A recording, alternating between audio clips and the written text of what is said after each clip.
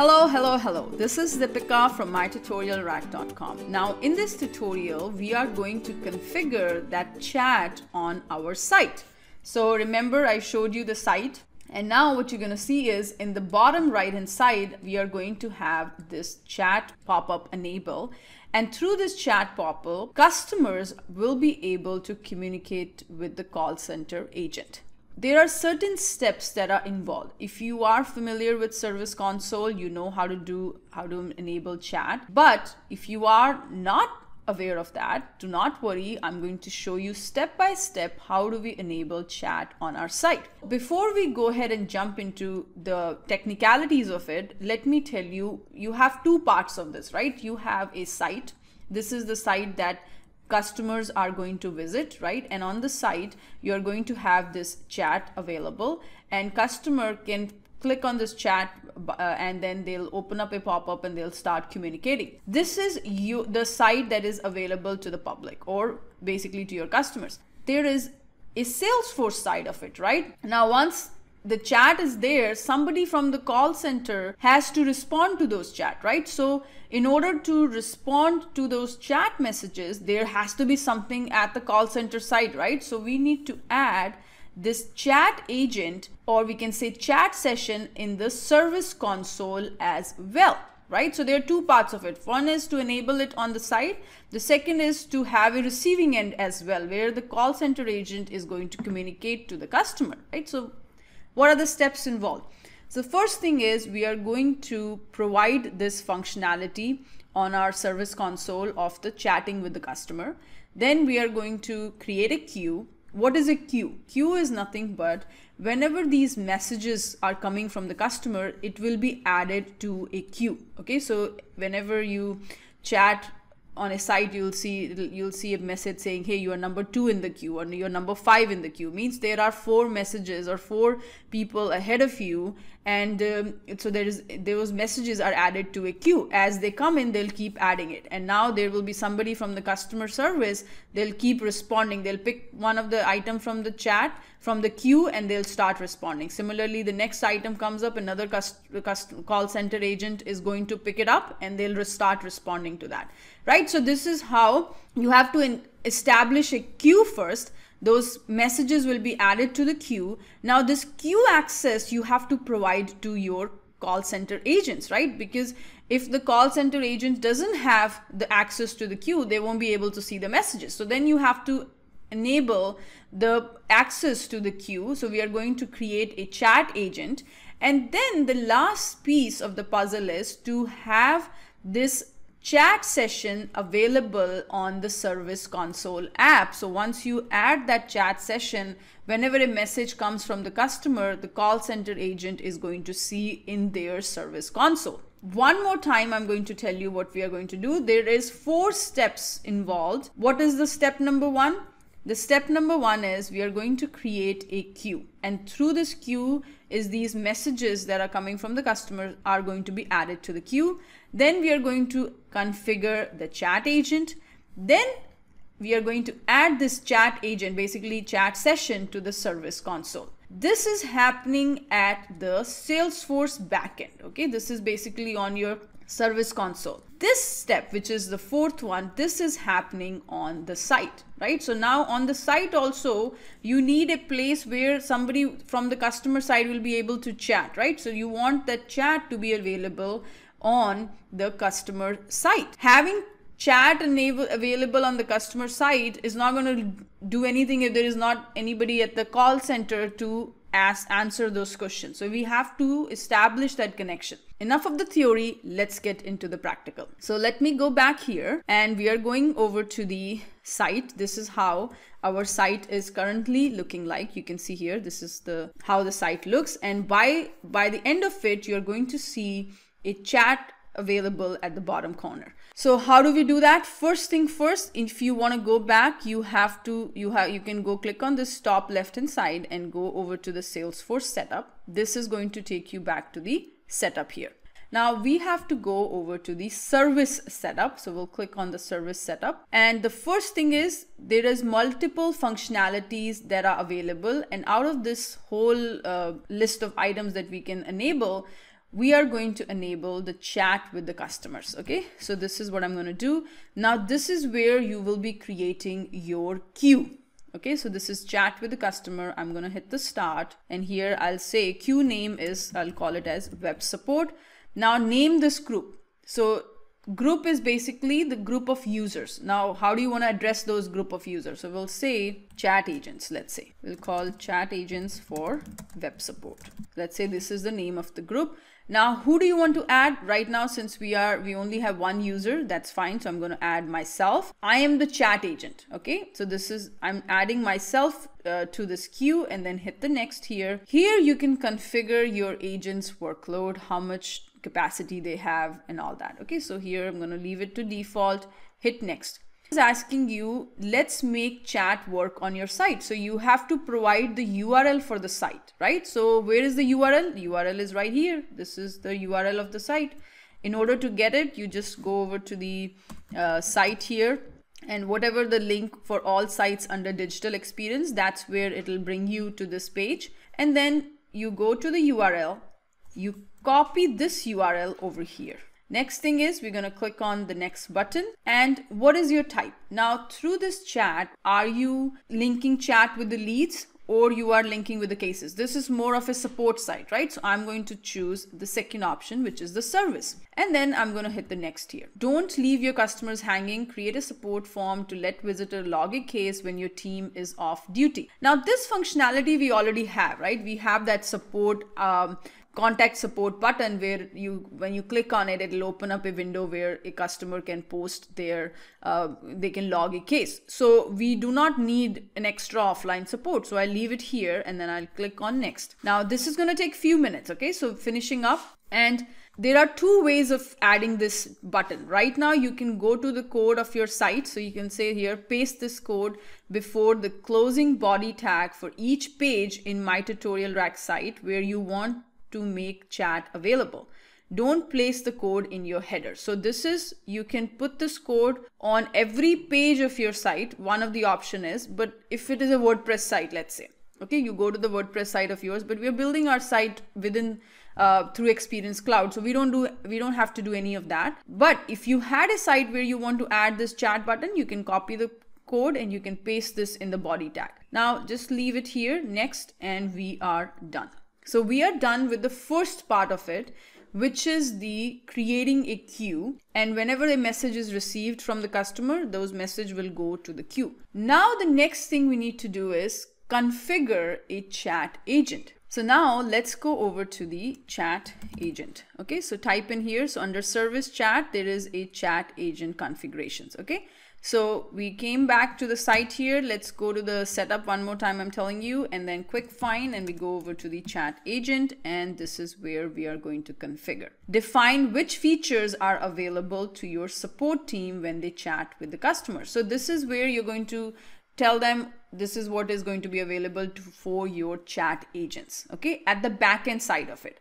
Now chat agent configuration name, whatever you want to call it, we can say web support configuration, let's say, and uh, developer name, chat capacity, omni-channel is turned on, chat capacity is managed, managed through the omni-channel. So once the omni-channel is uh, enabled, we'll do, we'll, we'll turn it on and then it is going to take care of the capacity. And here, sneak peek enabled. What does this do? This option lets agents see what visitors are typing before they send the message. Okay, so if you want this option means when before the chat the before the customer hits the send if the chat agent wants to know what he's about to send so they can be ahead of it ahead of it and they can find that answer right away if you want that functionality, you check this checkbox. We don't want that at this point. Play a notification sound for chat request. Okay, so whenever a chat request come, if you want a notification sound so that, okay, the customer person, the call center agent can hear it. If you want that, play a sound when an agent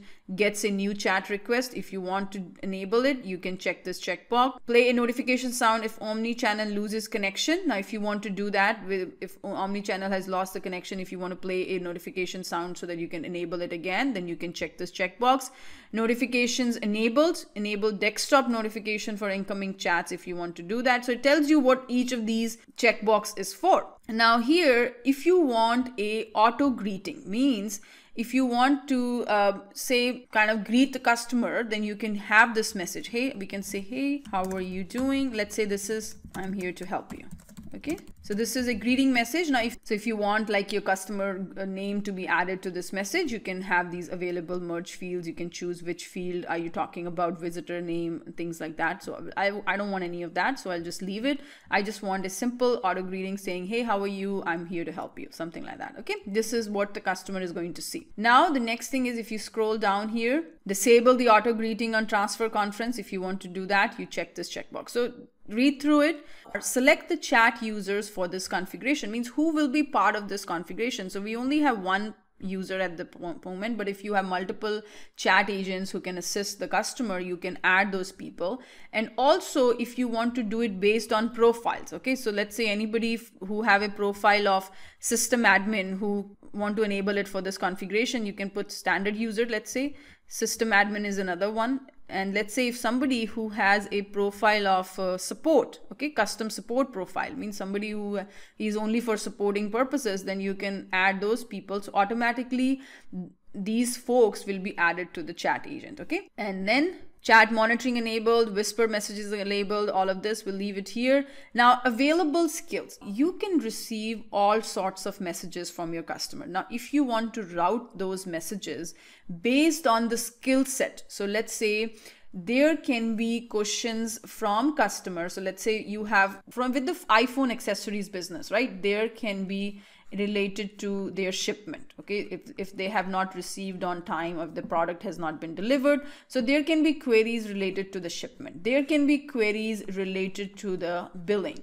There can be queries related to um, network related let's say I'm just making it up, but let's say you have different kind of questions coming from different variety of questions. Now, if you know that, okay, this particular call center agent, uh, in let's say his name is Rahul, he's expert in this. So you can have those web skills enabled. If the, somebody who is who is an expert in network related issues, then you can and you know that that person's skill set is this. So you can do it based on the skills also. So you can say here if you don't assign any skills the agent status list in the supervisor panel will show all agents. Okay so then you can this is basically if you want to route based on their skill set. So currently we want to keep it very simple and uh, now next thing is chat conference conference settings. Means if you want other agents to be added onto the same chat so then you can have this chat conference settings. We don't want any of that. Now come down here chat transfer to chat button available chat button. So here i'm going to say chat agents for web support. I'm going to move this button and then hit the save. So what i've done so far i have also configured my chat agent now, the last piece of the puzzle is you want to add chat sessions onto your service console app, right? So, because that way, whenever a message comes from the customer, somebody from the chat agent, one of the chat agent will see that session coming in, will see the chat chat, and then they'll start responding. So here I will go over to my app manager. So here I'm going to go to the app manager and click on the app manager here and select our service console app. Okay, so here I'm going to look for control F and I'm going to say for chat, sorry, I'm going to look for service console. So if you see here, you have uh, sales, you have uh, sales and we have service. And then the next one we have is service console. Okay, so this is the app that is available and then you click here and then we're going to click on the edit. We are going to go over to the navigation item and here from the available list we'll add the chat sessions on to the right side. So the moment we do this on the service console side you are having these chat messages or chat window will appear. We have done everything from the backend. Now we need to go to the site and we need to add the chat on the site. And how do we do that? So let's go back here to the, let me refresh the site just to see if it has all the latest stuff. And then I'm going to the components and there is a embed service chat. Now, wherever you want this option, you can put that over here. So I want this wherever you want it. I'm going to put it under ask a question.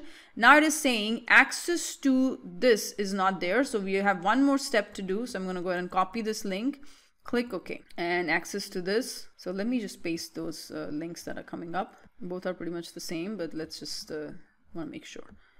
Okay, so these are the, the, this access is not there. So we're going to go and click OK, but we have the chat deployment is done and then ta-da. So now you see the agent offline is there.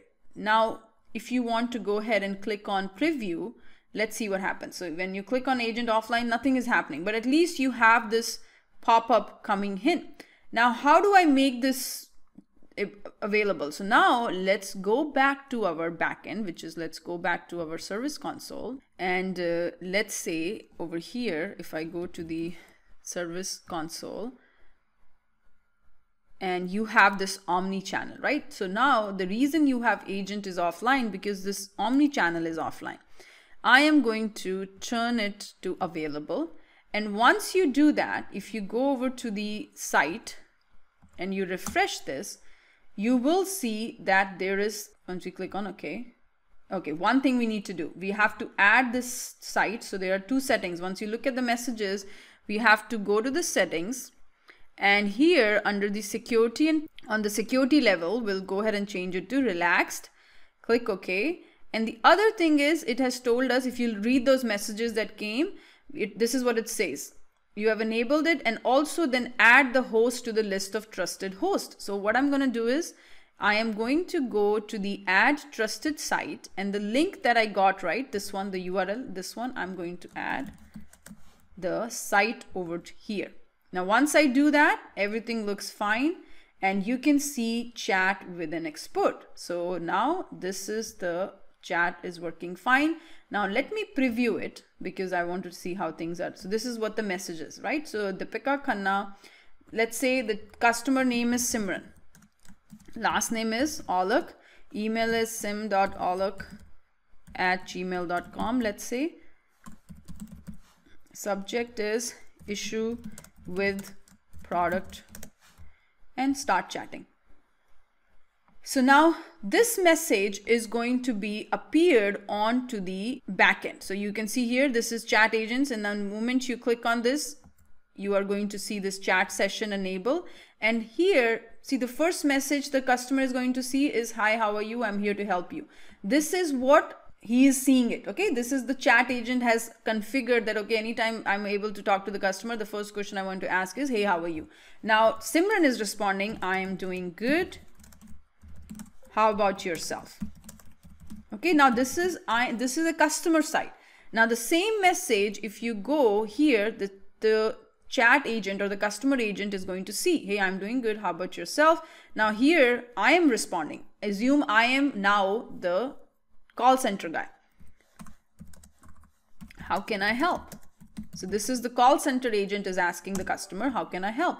Now this message is going to be received at the customer side and he is saying now the customer is responding now the customer is saying i ordered a phone case few days back but it hasn't been delivered so this is customer is saying now the same message Call center is going to see, I ordered a phone case. Now he's going to ask, what is your order number? Okay, so then this is it. If the customer got the support he needed, he can end the chat or this he from the from the session itself, from the call center side also, he can end the chat. So now we have successfully enabled this chat on our site. So we have done the major chunk of it. Now you have this chat available. Once you, when you can close it and you can say confirm and chat, now the customer has ended the chat. So you can say close chat. Now if there's another customer, he's going to see it. Then there's going to be another agent or the same agent has to uh, reply if we have less people in, in the call center side. So this is how you enable chat on your site. So I hope you understood it, all the steps that are involved in it. Try to do it, try to practice along with me so things get clear. You build the site, but also you build another site similar to it. Okay. And then that way, more you practice, it'll easier to understand. So I'm going to see you in the next tutorial. Thank you so much. Bye-bye.